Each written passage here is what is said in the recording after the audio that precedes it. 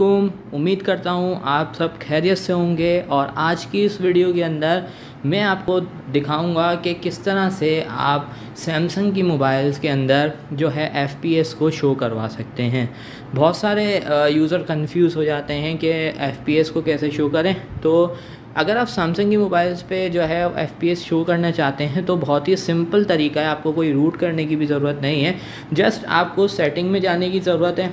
आप यहाँ से जाएँगे सेटिंग्स में और सेटिंग्स में जाके आपको अनेबल करना है अबाउट फ़ोन में जाके डेवलपर ऑप्शंस को। डेवलपर ऑप्शंस ऑन करने के बाद आपको अगला स्टेप ये करना है कि आपको यहाँ से जाना है कहाँ पर?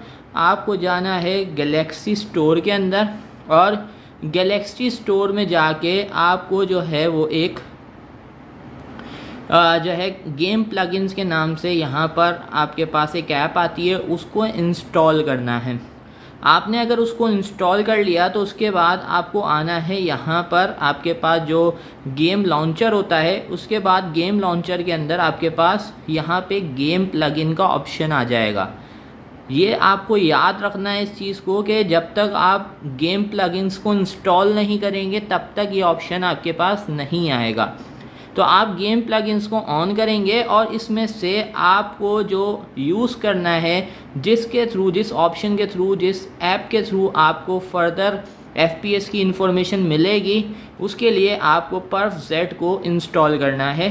तो यहाँ पर जिस तरह से डाउनलोड का बटन आ रहा है तो मैंने पर्फ जेड को पहले ही डाउनलोड कर लिया है तो इस वजह से मेरे पास यहाँ पे ऑप्शन अनेबल हो चुका है। आप लोग पर्फ जेड को कहाँ से डाउनलोड कर सकते हैं? आप यहाँ से गलेक्सी स्टोर में जाके भी इसको इंस्टॉल कर सकते हैं। आप लिखेंगे पर्फ जेड तो ये यहाँ पर आपको मिल जाएगी। अगर यहाँ पे नहीं मिल रही तो आपके पास डायरेक्ट ऑप्शन आ जाएगा। यहीं पर आप वहाँ से इंस्टॉल कर सकते हैं गेम प्लगइन से।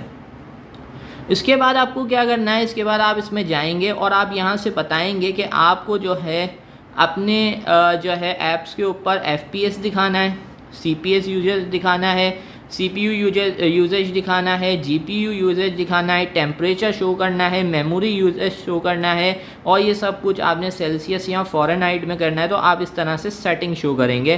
तो ऐसा कर लेते हैं कि मैं आपको temperature plus F P S show करके दिखा देता हूँ, या चले मैं जी पी यू यूजेज आपको शो करता हूँ। उसके बाद यहाँ पे आपको जब आप करेंगे तो यहाँ से आपको अपियर ऑन टॉप का ऑप्शन अनेबल करना पड़ेगा और फ़र्स्ट टाइम हो सकता है कि गेम प्लगइन्स आपसे मांगेगा परमिशन तो आपको यहाँ से परमिशन देनी पड़ेगी। इसका एक फ्लोटिंग आइकन भी आता है, वो भी आप यहाँ से अनेबल कर सकते हैं तो अभी मैं इसको अनेबल नहीं कर रहा। और हम एक काम करते हैं कि हम यहाँ से चलते हैं और हम यहाँ से पबजी मोबाइल को ऑन करते हैं। तो जैसे ही आप ऑन करोगे, यहाँ पर आप दो नीचे बटन दे सकते हो। एक आपके पास जो है FPS को शो कर रहा है और एक आपके पास जीपीयू को शो कर रहा है कि जीपीयू आपके पास कितना परसेंटेज ले रहा है आपके मोबाइल का। तो इतना इजी है आपके पास जो है सैमसंग डिवाइसेस के अंदर FPS को शो करवाना। आप जो है यहाँ से जो जो इन्फॉर्मेशन अनेबल करना चाहते हैं, आप पर जेड में जाकर वो इन्फॉर्मेशन ईज़िली अनेबल कर सकते हैं। सो ये बहुत ही सिंपल है। आप देखते जाएँ, आप इसको बस क्लिक करेंगे और आप यहाँ से विजिबल कर सकते हैं कि आपको नज़र आ रहा है कि भाई कितने एफपीएस यूज़ हो रहे हैं और कितना जीपीयू आ रहा है।